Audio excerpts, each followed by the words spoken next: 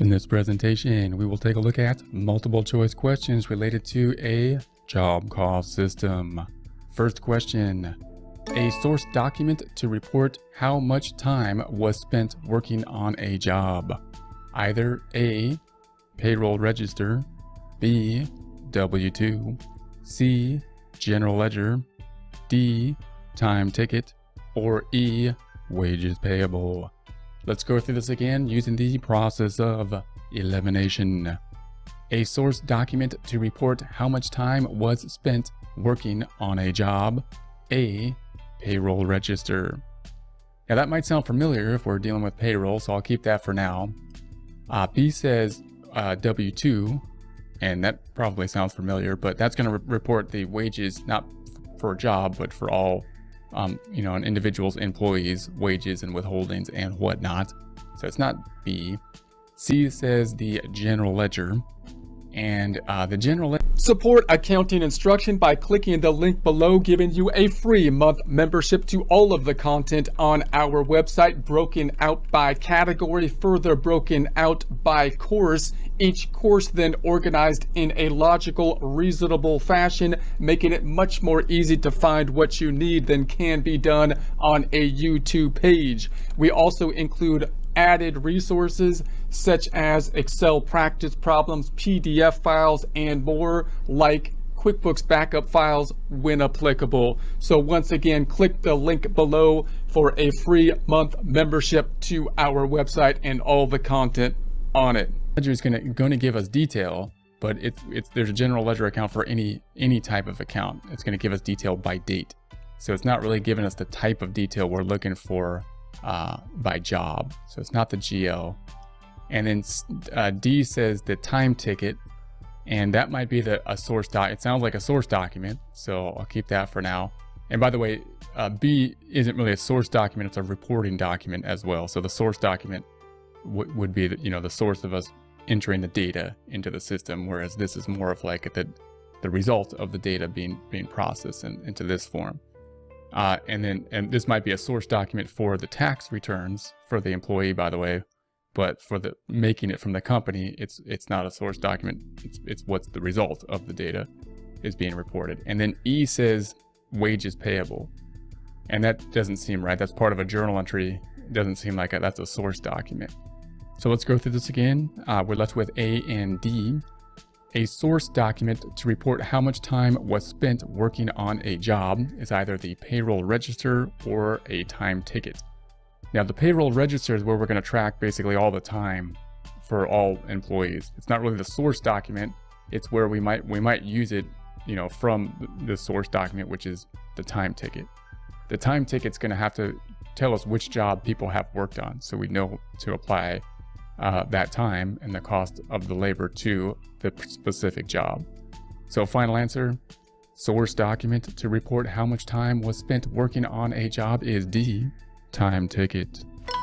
Next question, direct labor cost example. A supervisor salary, B, CEO salary, C, janitor wages, D, assembler wages, E, sales commission. Let's go through this again using the process of elimination. Direct labor cost example. Now, if we think about these, we have we have a, a list of folks here that we're going to be paying. We're looking for the direct labor. Those are the, that's going to be the type of labor that we can apply directly to a specific job. So which of these is going to be things that we can apply to the job, apply to the job sheet, and therefore put their labor directly into the work in process supported by the job sheet? either A, supervisor salary, uh, I'll keep that for now, B, the CEO salary, CEO is probably not in the warehouse, so probably probably not working on specific jobs too often, so we're gonna say that's not it. And then C says the janitor's wages. Um, again, the janitor might be in the in the uh, the factory, but we don't know which job, you know, they're just cleaning up the factory, which which is beneficial to the entire, or doing, you know, that's beneficial to the entire process of making inventory. So we will apply it to uh, the inventory, but it's going to have to go to overhead and then be applied out. And then the assembler wages, and uh, yeah, you can't really get much more direct than that, right? They're the person putting. I mean, if we're making guitars, they're the ones making the guitars.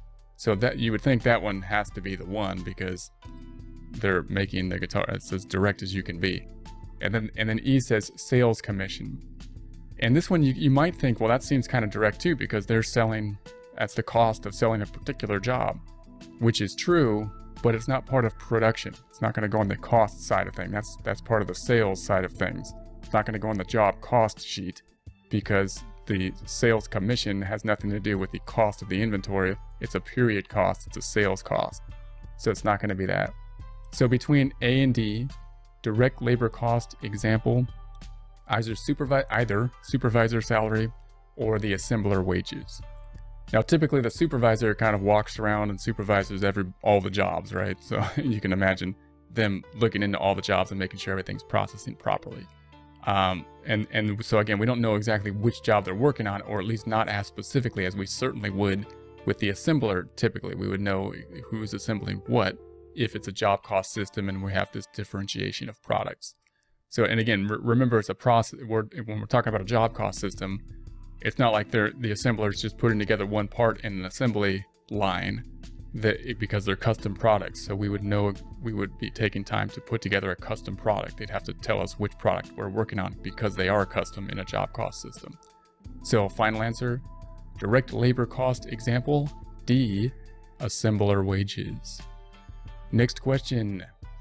The rate established prior to the beginning of a period that is used to assign overhead cost to jobs is the A. Predetermined overhead rate B. Overhead allocation rate. C. Estimated direct labor rate. D. Estimated direct material rate. Or E. Job overhead rate. Let's go through this again using the process of elimination. The rate established prior to the beginning of a period that is used to assign overhead costs to jobs is the A. Predetermined overhead rate. That sounds familiar. I'll keep that for now. B says overhead allocation rate. That sounds less familiar, but kind of appropriate. You would think we're allocating overhead to the jobs, so I'll keep that for now. C says estimated direct labor rate. Um, now, that, the reason that might sound familiar is because we, we typically might use direct labor to help us determine what this rate is. So, but uh, it, it's really not an estimated direct labor rate, it's we're estimating the overhead. So it's not C. D says estimated direct materials rate. And that might sound less familiar, but again, we could use materials to calculate what this rate will be because we're trying to use a ratio to see how big a job is. So it's not, but it's not D. And then E says job overhead rate. And again, that's what we're applying really. So you might think that sounds, you know, that sounds kind of reasonable. So let's go through this again using the and see if we can narrow this down further.